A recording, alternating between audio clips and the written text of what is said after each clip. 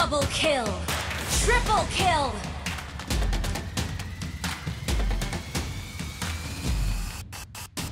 Maniac!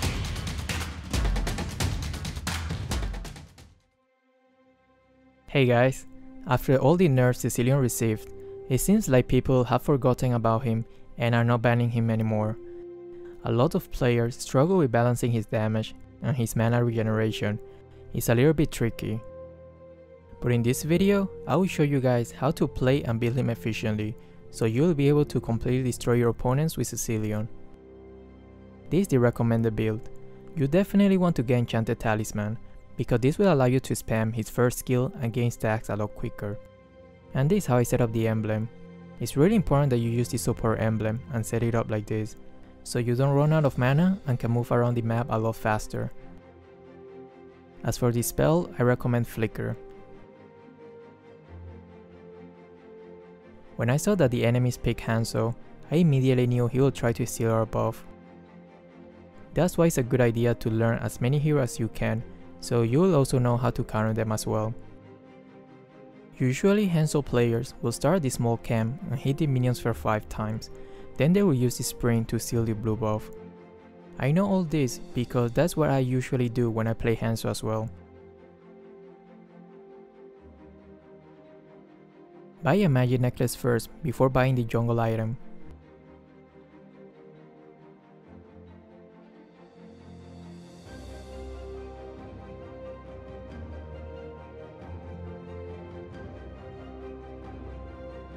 As you can see, they had 4 players in the middle lane, so they were definitely plotting to invade our blue.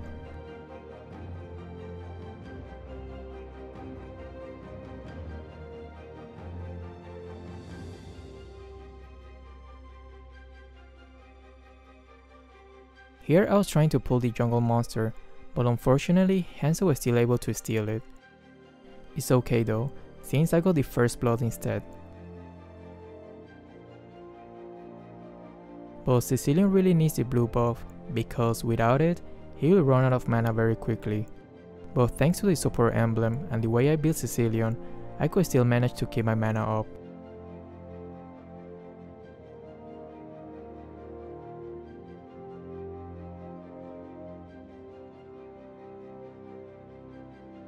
You want to build him the mana boots as soon as possible, so you can keep spamming his first skill to farm his passive stacks.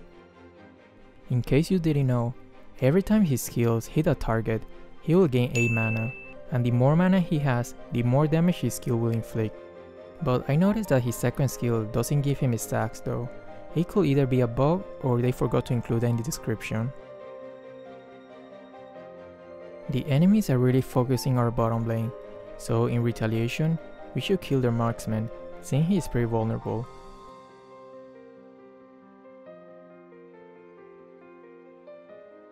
Don't be afraid of turret diving when your team has the number advantage.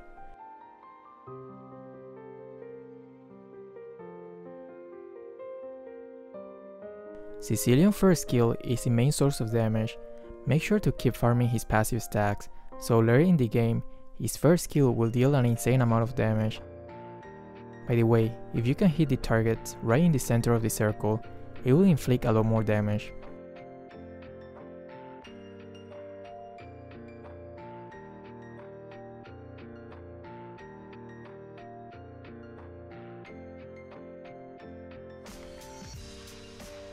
Here you can see I'm waiting a little bit before casting my first skill. I want to make sure I last hit the minions to get the mana back from the mana boots. In case you didn't know, you will only gain the mana back when you inflict the last hit. I noticed that the enemy's tanks are putting a lot of emphasis in our bottom lane, so let's use the information to our advantage and keep killing their ADC instead.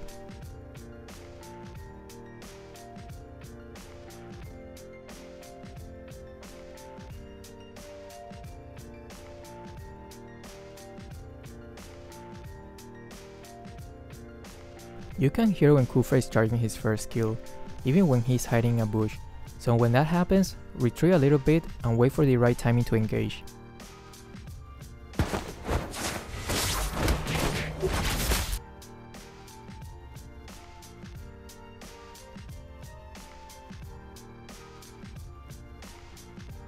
Cecilion's ultimate boosts his movement speed briefly, and he shoots 40 magic bullets that slow the enemies and will also provide him some health back.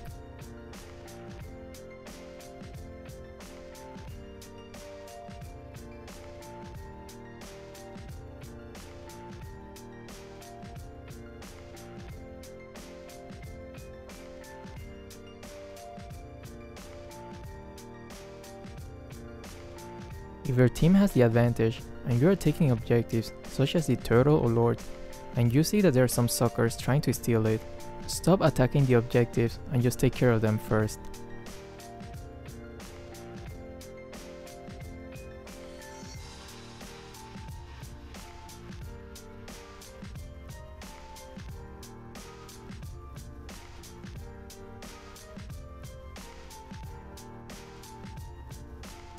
His second skill is stun the enemies that are in the path. He has a short delay, but the range is pretty wide, so it's not really hard to aim.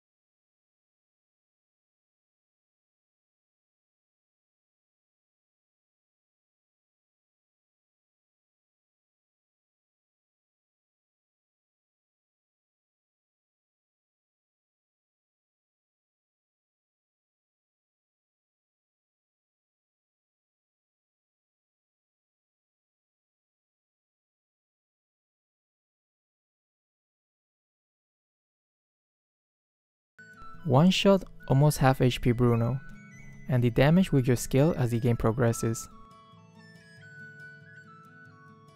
But even though he deals such an absurd amount of damage, you have to pay a lot of attention to his positioning, because once he gets stunned, he can die extremely fast, seeing he's pretty squishy.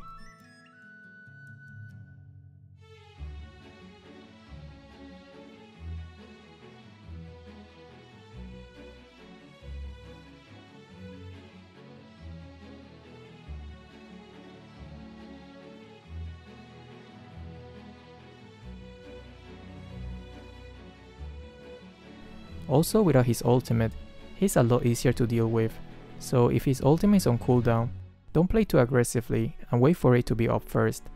A mistake that I learned right here.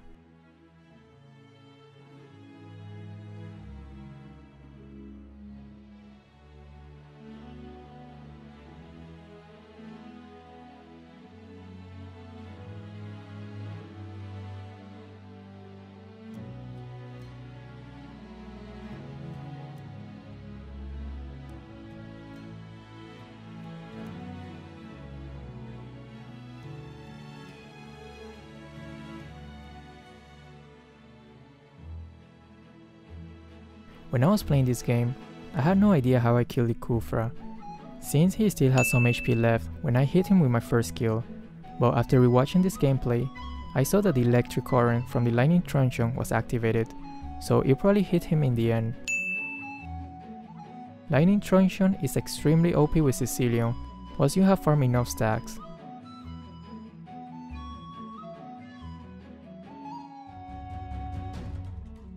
You probably might be wondering why I'm not using Clock of Destiny. Even though this item does give you some mana, getting the Enchanted Talisman is way better because it helps with the mana regeneration and cooldown reduction. I have tested both builds and I definitely feel more comfortable with the Enchanted Talisman build.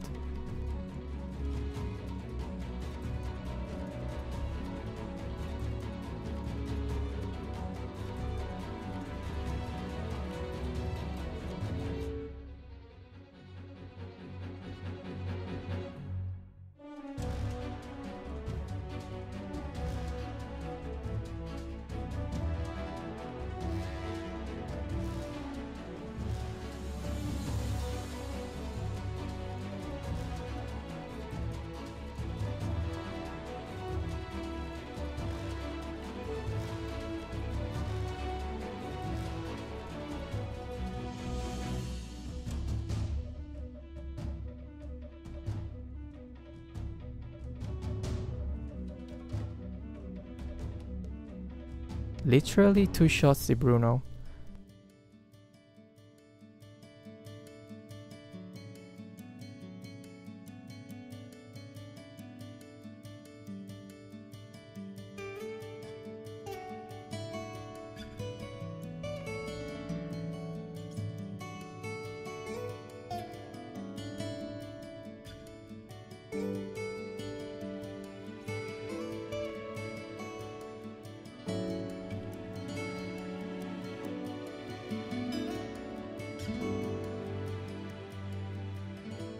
Thanks for watching, and if you enjoyed this video, don't forget to like and subscribe, or else you'll keep getting those trolls and toxic teammates.